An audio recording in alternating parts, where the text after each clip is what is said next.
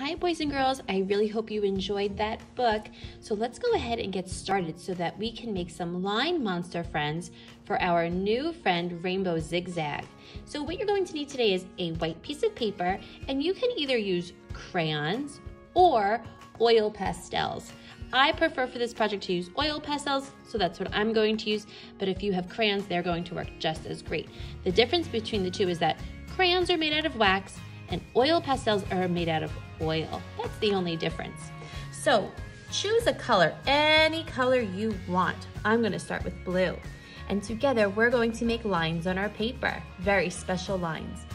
At the very top of our paper, we're going to start with a zigzag line. So here we go, very top of our paper, we're going to go zigzag, zigzag, zigzag, all the way until we touch the other end of our paper like that. Good job. Make sure that if you are using crayons that you're pressing really, really hard. It's okay if by accident your crayon breaks in half. Sometimes that happens. This just means you're very strong. Press very, very hard so those colors are bold and bright. Okay, great job on your zigzag. Let's go down just below and now we're going to make a, um, a dashed line. Here we go, a dashed line. So a line and we're gonna skip a space and a line, and we're gonna skip a space. This is called a dashed line. Try to stay nice and straight, pressing really hard so that those colors are nice and bold. Great job. Choose another color. Now you're going to go ahead and we're gonna make a looped line. A loop line, this is one of my, my favorites to make. Loop, loop, loop. This might be a new line for some of you. You may have never made a loop line before. So it could be a little challenging, but don't worry. You can even ask a family member at home to create the loop line for you in pencil and then you can trace over it. You can do that for all the lines really. Hmm, what else should we make? How about a wavy line? Grab a new color.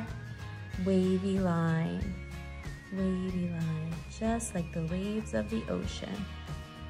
Wavy line, good job. Now we're leaving some space in between our lines. We should have some more space on the bottom to continue.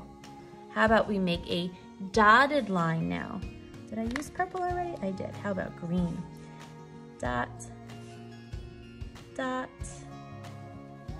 dot, all the way to the other side of our paper. This is us exploring line. Great job. Great job. All right, grab another oil pastel. Going to make another line down here. Zigzag, zigzag. Whoops.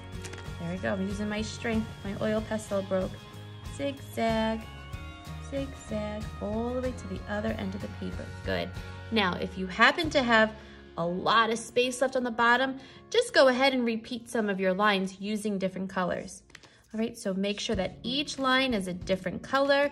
You either use crayons or oil pastels and you press very, very hard. Great job. There's one more step to part one of today's project. Here we go. For this part of the project, we're going to need a water bucket, a paintbrush, and some paints. You can use watercolor paints or tempera cakes are the best. Because we pressed so hard with our oil pastel or crayons, now when we paint over our crayon, we're still going to see the crayon come through. It's going to be visible. It's like magic. So get that brush really wet, choose a color. I'm gonna start with red. I'm actually gonna do the order of the rainbow. So the first color of the rainbow is red. When you paint, you guys, you wanna make sure that you're not holding your brush all the way up top because you wanna have good control of your brush. So make sure you're holding your brush in the middle, close to the bottom. And across the top with red, because I'm choosing red, but you don't have to choose red. You're going to go um, all the way across with your brush. We're going in a horizontal line. We're going sideways, left to right. This is a horizontal way. Now, if your brush tends to get dry, which mine is doing, just add it to the water. Now your brush is nice and wet, grab some more paint and continue. Good. So we painted over our first line. Isn't it awesome that you can still see your crayon or oil pastel line through here? It's like magic how it comes through. The next color of the rainbow is orange. So I'm gonna use orange. cleaned my brush, got a new color. Again, horizontal, left to right, back and forth. Nice job. My oil pastel is popping through. Do you guys know the next color of the rainbow? Hmm, is it blue? No. How about yellow? Yellow. Yellow is my daughter Stella's favorite color. Yellow back and forth. I'm not going up and down. I'm going back and forth. Good job. Nice job, you guys. Take a break if you need to, but I want you to continue your paint all the way to the bottom of your paper.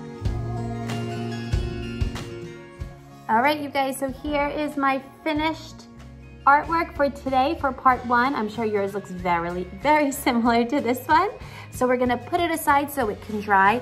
Do not move forward to make your monster because next week in part two, that's when we're going to create our monster. So let this dry, be patient, and I can't wait to see you guys next week so we can make Rainbow Zigzag a new friend. Bye.